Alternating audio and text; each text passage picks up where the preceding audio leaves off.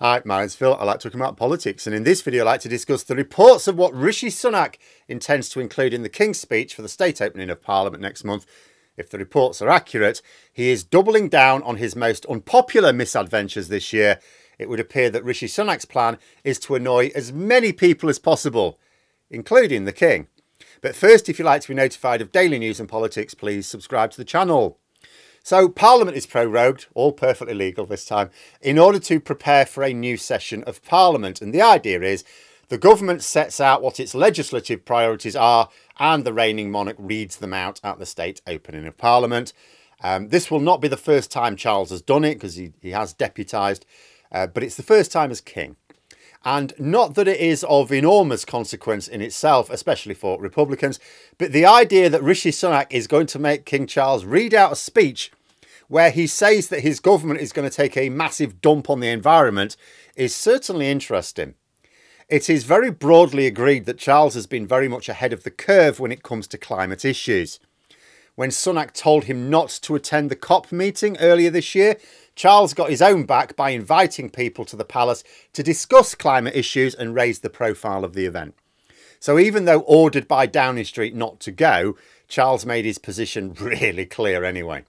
And now he's reportedly going to be reading out a speech where he explains that his government will be expanding North Sea gas and oil drilling and making it harder for pedestrians and cyclists to get about, encouraging more use of cars.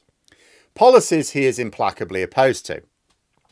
Mind you, the king doesn't get a vote or a say, and even if he did, it's just one vote. What's of more importance is that Sunak is going to be annoying people who really can give his party a bad time at the ballot box It's quite interesting to see this report in The Guardian as opening up a clear divide with Labour. Now, if this is the purpose of Sunak's intention to raise the profile of these policies via the King's speech, it would be very much in keeping with his childishly incompetent attempt at politics. It's like he's thinking that, well, because Labour are on course to win the next election, we need to show people how the Conservatives are going to be different. And you go, okay, in principle, there is wisdom in that. Because at the next election, Labour are going to attract votes from lots of, for lots of different reasons. You know, there's going to be some voting for Labour because they like their policies. There'll be some voting for Labour or other parties just to defeat the Tories. You know, but there's always some voters who they're not really bothered about the difference between Labour and the Conservatives. Um, they will just vote for competence over incompetence. And for these voters, that's why if the government's tickling along all right, they'll vote for the party of government because it's like, well, the the opposition are an unknown quantity, and we're sort of happy with the competence of this government. But at the moment, no one can really say that the government's competent. So for these voters, Sunak has very little chance of persuading them that he wins on the competency stakes. So he needs to work on the idea that there is a difference in policy to vote for for these people, that it does make a difference. Unfortunately, Sunak seems to have focused in on uh, one of the very popular Labour policy areas. And one of the features supposedly in this King's speech will be making it harder for local authorities to apply 20 mile an hour limits on roads. But as I keep saying, these are actually locally very popular, including, sometimes especially, in Conservative councils. The reason you see so many it's not just because they save lives and the councillors all want to save lives. It's because locals badger their councillors to have them set up. Imagine the scenario. Local activist group lobbying their council for a 20 mile an hour zone. And, and let's be honest, most of these people tend to be retired, right? Big voters. Only to be told by the council that the Tory government is making it too difficult. I'm not saying that these lobby lobbyists will then instantly decide to vote Labour, but it is nudging them in that direction. And when Labour are already looking nailed on to win, nudging even more voters in their direction seems strategically, well, a little bit dim. And consider how this came about. This isn't because Rishi Sunak's discovered from polling that lots of people want these 20 mile an hour zones scrapped. It's because this so-called, this pro-motorist policy came about because they made it an issue in a by-election for a constituency which had never been won by Labour. And the Conservatives won it by a narrow margin, and that was this huge win. And on the basis of that, they completely changed their national policies on motoring. This despite the fact that they then went on to lose two further by elections in safer seats. Absolute madness.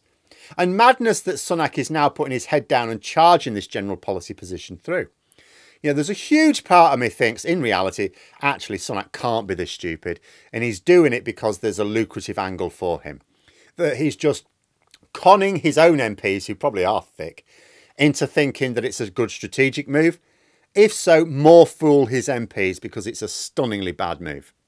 I talked recently about how his major target voter would be, according to polls, female mortgage free homeowners, probably in their 60s, these are not the sort of voters who are attracted to these policies of making roads more dangerous. No, so this is Sunak. He can make more money. This is what this is for. For Sunak to make more money. He, he recently, on a slightly related note, responded to a Freedom of Information request. So he was having meetings with BP. And someone said, We'd like to know what you talked about. Um, you know, big oil giant who also coincidentally, I'm sure, have agreed a huge business deal with his father-in-law's company, Infosys, and will of course be benefiting from all these North Sea oil and gas licenses. And Sunak basically said in his response to this freedom of request letter, it's none of our business what he was talking about with the company that is going to be benefiting commercially from his policies. I'm pretty sure it is our business. But it's just another sign that Sunak is dedicating the next year to making himself and his family a lot richer, as well as earning other valuable favours for the future. But as ridiculous as it may seem to make an environmentally conscious king read out a speech saying, We're going to wreck the climate for another year, it would be even more ridiculous to get him to say, my government is going to spend its final session of Parliament draining our national resources dry in pursuit of the mother of all retirement plans for the Prime Minister.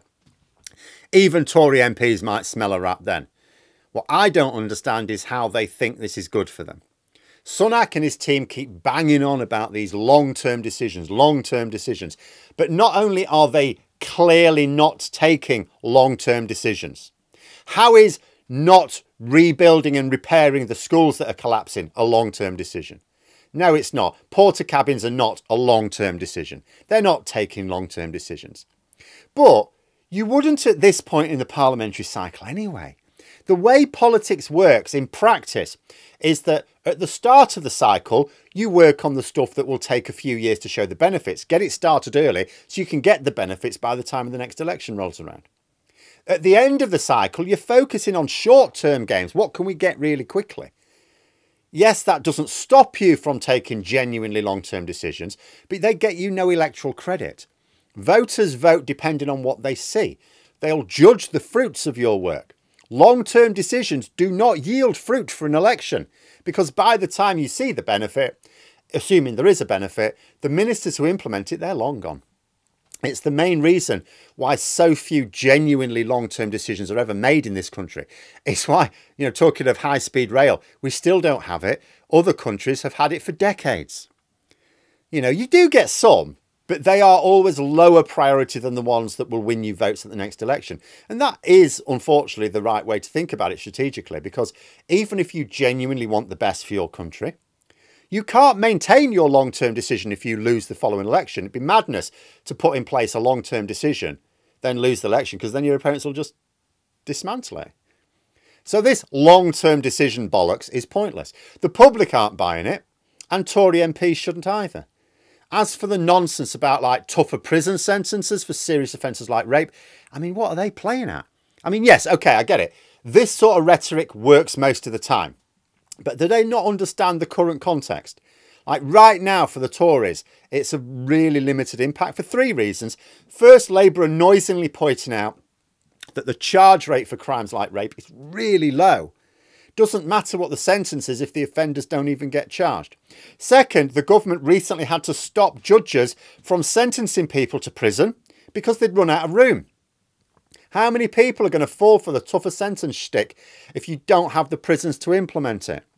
And third, there are two Tory MPs being investigated specifically for rape, to say nothing of those who've already been booted out of Parliament for lesser sexual assaults. You'd think the party would want Sunak to stop talking about sexual assault crimes, wouldn't you?